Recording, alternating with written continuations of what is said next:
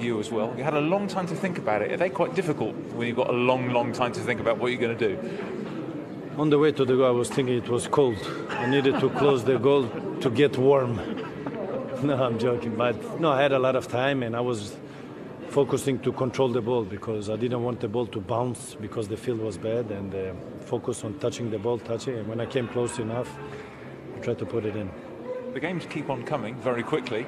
How much of a challenge is it to play so quickly Sunday lunchtime after a long flight?